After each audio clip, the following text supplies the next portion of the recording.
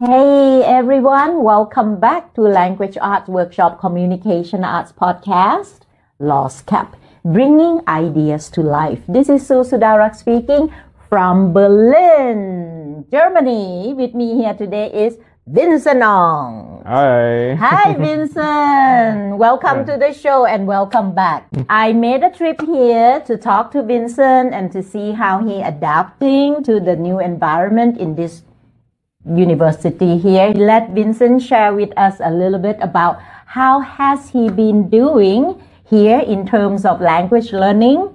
Okay, I would say the one thing that has changed the most for me compared to like when I was in Malaysia was um, I had to plan a lot more here. Everything is like, okay, you have to follow a schedule. You have to set an appointment. What time is this? What time is that? You know, Germans, typical Germans.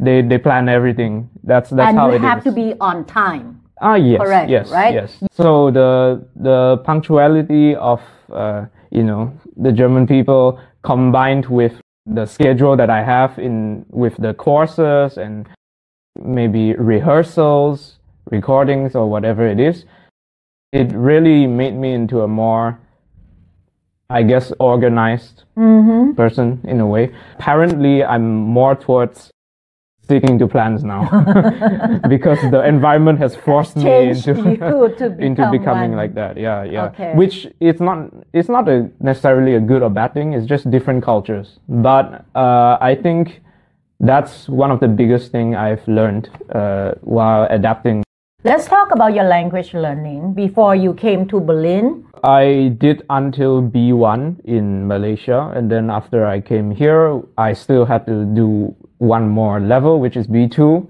and uh, we finished it over the course of the first semester. Now we are now I'm in the second semester, so it's done. Yeah. But- of course, you know, like when I say done, I don't mean like done with learning because you can go all like many language courses as you want, but then you you go in the train, you listen to people, you don't understand a single word. Exactly. Or you do you go in a bar or something. When the Germans when they talk like to each other, they may use a lot of slangs and they may use they may shorten the words. Like it's completely different than what you learn in the book. Yeah, we will get to that about language learning a little bit because at Language Art Workshop we teach language, English, and I would like the students and Malaysian students, I would say in general, to learn a language in a way, to enjoy learning the language and to be able to use it in a practical way, not just to learn a language just to pass school I exam. in So in Malaysia, we learn three languages at the same time. And now additional one more here.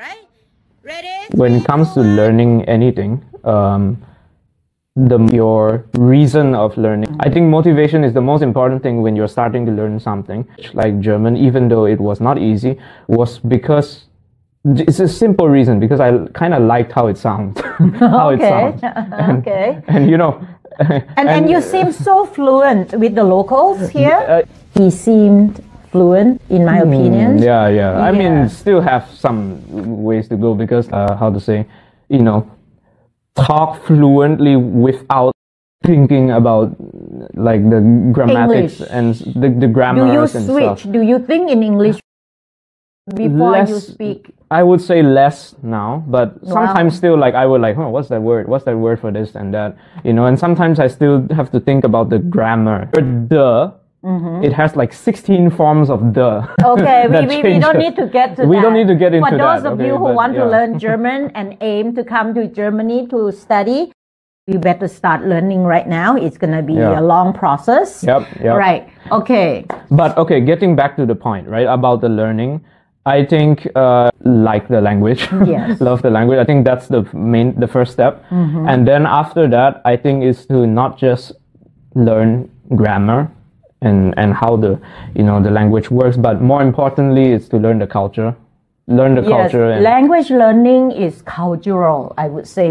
So Yeah. you turned everything in German. You're what I did when I moved here is I changed my language on the phone to German. So it kind of forces me to look at German every day. It's not that hard to, to adapt to it because you kind of can guess by context. I think a lot of learning languages, uh, it's about context. And that mm. is the, I think that's the best way to learn languages is to just, you know, just surround yourself with the language and slowly absorb it. You don't need to understand perfectly, mm. but the fact that you are there and you're willing to absorb to acquire all this. Okay. That's the way I So I that would be Vincent's learning strategy in terms of language learning. Sum it up, okay? Like if you want to come to Germany to study, um, be prepared to be very organized. Yes, your organization yeah. skills has to be really good.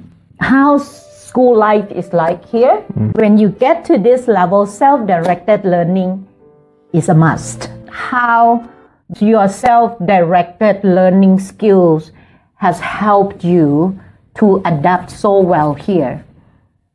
The word directed, you need direction, right? Mm-hmm. So where does that direction come from? This is not just something that you can find by yourself only, but also the environment will affect you.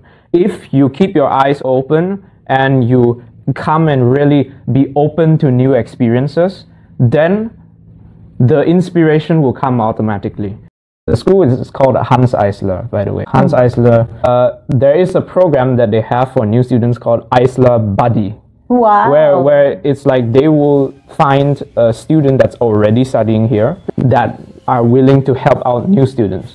So that's how I actually got to know my first friend through this, you know, this program the way this school is located, you know, there's the ground floor where people always come in. It's a place where you can't hide, you know. It's like a the student people, lounge. Yeah, yeah, yeah, I mean, it's just a lobby, you know, mm. and, and that's where most of the socializing happens. Mm-hmm. That's where you meet new people. You meet people not not just from the same department, from but you meet other people like you meet singers you meet conductors uh, uh, accompanists mm. and then even like other instruments as well in the other building in order to promote yourself especially if you are self-employed well self-employed if you are an, an independent musician you have to use social media mm. and extensively in order to okay. promote yourself to put yourself out there he been mentioning about mm. employment and stuff and i heard that you have been just employed and teaching piano to German students. Tell us more about that. This is something Ooh. amazing, actually. Yeah. Being yeah. here for only six months and got a chance to teach well, the locals. Again, I was really, really lucky to get that because uh, actually the way I found the job was from a friend of a friend, mm-hmm. where I think he's currently doing his PhD and he's quite busy. He uh, needs to find a replacement to right. teach his students, and mm. that's how I actually got to know about the job. Then I went and uh, did the interview with the school director, and okay. um, yeah, we met. You had to rewrite your resume, your. CV. Oh, I mean, my resume I updated from time to time, so okay, it, it wasn't it wasn't super uh, hard to do that. Mm. And also, uh, we had a course in our school here mm. that that uh, in the first semester called music management, which oh, is wow. all about like dealing with how to your professional profile and your writing CVs and like how to do okay. all this. And I have been uh, constantly updating it. So when I needed it, I was like, okay, just use this. CSI 5, CSI 6, SPM student, college student, listen up. You cannot get away from learning all this, writing your personal statement, your CV, and job interview. And I would like to add that even if you use ChatGPT, you must still know what's the content. Exactly. you have to you have to explain yeah. yourself when the time comes for this uh, interview part. Whether you, know? you, are who you say you are, or is that just a bunch of fancy buzzwords that you mm, use to make it look nice? yes, the authenticity has to be there. So this is one thing that we want to share with you. So teaching children is very psychological. Actually, it's not just teaching children, adults as well. So from what we have learned so far at Language Arts Workshop is all about personalized learning and the whole child approach. And as a mom and as a teacher to him, I mean, the whole time here, I would feel that my parenting style and my teaching style actually prepare kids for the future. Think of the future. You're not just learning just to pass exam month by month, term by term. I try so hard to emphasize on this concept.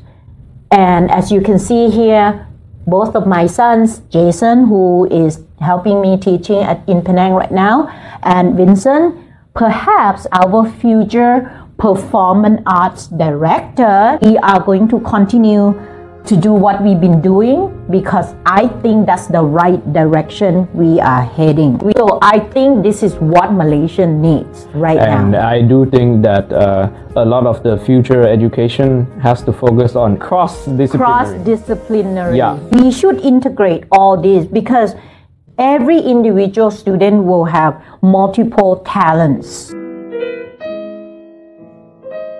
My message for you all today would be discover kids' uh, strengths and their passion toward learning in any field, and we support them from there.